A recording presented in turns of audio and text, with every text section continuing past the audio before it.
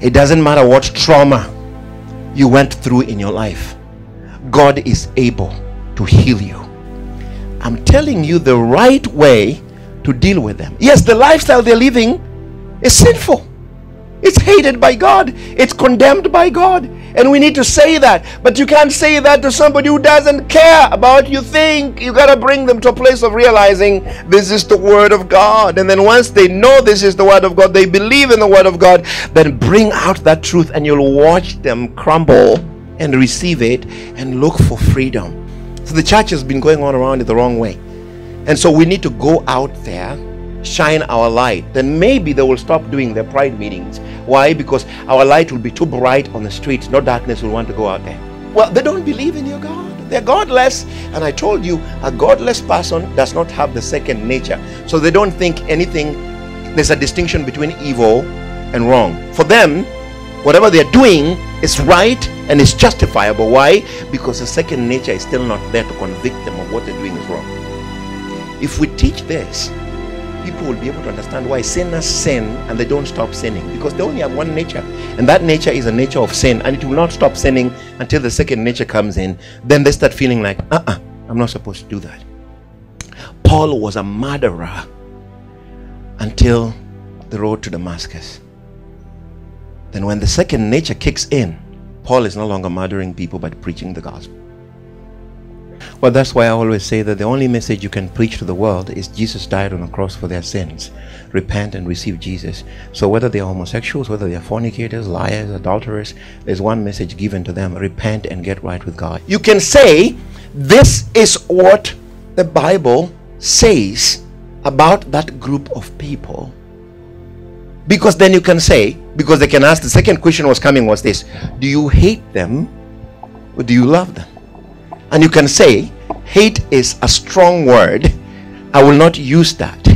I love them because God so loved the world that he gave his only begotten son. And the world includes all liars, fornicators, adulterers, all those people are in the world. And scripture says God so loved the but I do not based on my faith and my conviction, I do not validate that lifestyle because this is my faith. This is my belief. And what this book says is what i believe in. So i'm going to tell you that the bible says that all liars fornicators adulterers homosexuals they will wind up where? They will wind up where? In the lake of fire. That's what the bible says. So you have to be plain about what the bible says. But say this. But i love them and i pray for them that they will come to this revelation of truth so that they can find freedom and healing in jesus name it's as simple as that. You have not compromised. You're saying what you believe is, but you're giving them a door of hope to come in. On the pulpit, I can tell you that. But when somebody comes to me who has that lifestyle, I first of all want to gauge are they saved or they're not saved? If they're not saved, they're going to hear a clear gospel of what Jesus did on the cross. Once they receive Jesus, then we're going to go to that area immediately because then I'm not afraid. Why? Because then they're in a place to receive it because the Spirit has come in there. It's easy to receive. We can't defend Christians who claim to be born again, yet they condone that and they defend that because by doing that, they're denying their own. Are you getting me? When you are talking about Christians who claim to be born again, yet they refuse to say that the Bible calls it abominable, that is wrong. You have to say what the Bible say and you have to read it to them. This is what the Bible says. But if they ask you, do you hate me? Then you can say, no, I don't hate you. I love you and I pray for you that you'll come to this truth. And if you know what we've been teaching here about dividing between spirit and soul, you can even help them further because then you can explain to them what the old nature got them into and what the spiritual nature want to bring to them. And you will have more success talking to these people. We want to shout loud about homosexuals and lesbians going to hell. But that scripture says liars, fornicators, gossipers, drunkards, slanderers, They're all grouped up together. So then we need to be as, as angry with slanderers and drunkards as we are angry with them. Why are we not making a lot of noise about slanderers? Do you see the hypocritical of Christians here? Okay, we uh, oh, oh, oh, all the homosexuals are going to hell. Well, the Bible says drunkards are going there too. Liars are going there too. Fornicators are going there too. Adulterers are going there too. Gossipers are going there too. Backbiters are going there too. So let's make a whole big deal about all of them and see how many people will remain in your church. So many people who practice those things in our churches, they sit on our pews every Sunday, but we don't condemn them. We select a few group of people and we point our finger to that. This does not justify their sin. This just says that we need to call sin sin. Whether you are a lesbian, a homosexual, liar, cheater, a drunkard, we need to call sin sin. Tell somebody, call sin sin. Do you see how quickly we can become religious and take our pointing finger to one direction when we have a lot going on here? There's three fingers pointing at you. For God so loved the world that he gave his only begotten Son, that whosoever believes and turn to him, it will not turn them away, but it will draw them to himself. Whosoever believes. So if a sister who is in lesbian sin believes in Jesus and comes into the light, God's power is able to transform, deliver, and heal them. If a brother who's bound with homosexual sin comes to faith and repent of their sin, they can turn around and God can change their lives. And listen, I'm not going to sit on the seat of God and failed to consult God about how he feels about him. One day God told me this. He said, Son, consult me before you speak to my creation that I died for.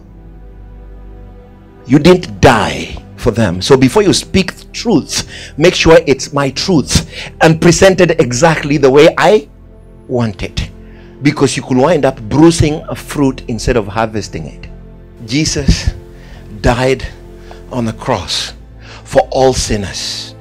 All sinners, liars, cheaters. And it can deliver you too, just like it delivered Paul, who was a murderer. It can deliver you and set you free. Oh, hallelujah. Oh, hallelujah. Isn't it good to have a balanced gospel? Let us not be the religious Pharisees that washed the outside of their cups, but the inside, they had their own issues.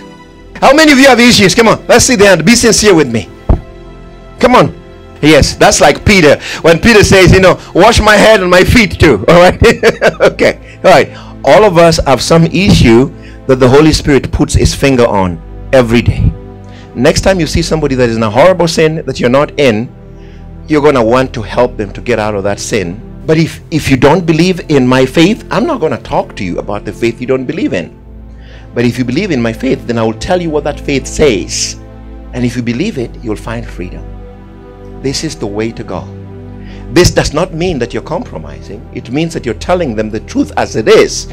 But you're also telling them, I love you and there's hope for you. Thank you for allowing me to see them as you see them. Thank you for allowing me to see the price of your on the cross. Thank you for allowing me. Because there was a time where I could not condone that kind of a person. But God told me, How many times have I condoned you? How many times have I put up with you? How many times have you let me down? How many times I have had to wait for all these years for you to get to a place where I can tell you to do something and you do it? Since that day, I embraced the perspective of God's heart. You know, you can have truth, but that truth is mixed up with yourself. You can speak the truth, but the truth is mixed up with your bias. Because how I have been raised up and my experiences can influence what I am saying to somebody else. And it may not be God's truth, it may be truth based on my. Make sure that whatever truth you're speaking has Jesus in it. And the Lord says, I am holy, but I am loving, compassionate, kind, merciful, long suffering. All those things are attributed to me, but I'm still holy. Patient. I wait on them more than you will wait on them. I used to be frustrated when people don't grow quickly and become mature Christians. I would start complaining. You know, like little babies grow up and you know they need, you know, to you to put up with their falling down and, and dropping everything around, you know, you gotta do all these things, you know. For me it used to be you gotta get up in one day and walk. Until the Lord says, No, did you walk in one day? all right, let me encourage you. Love like Jesus loves don't compromise like Jesus did not compromise. Even though he was called a friend of sinners, he never sinned with them. He still spoke the truth to them in love. All right?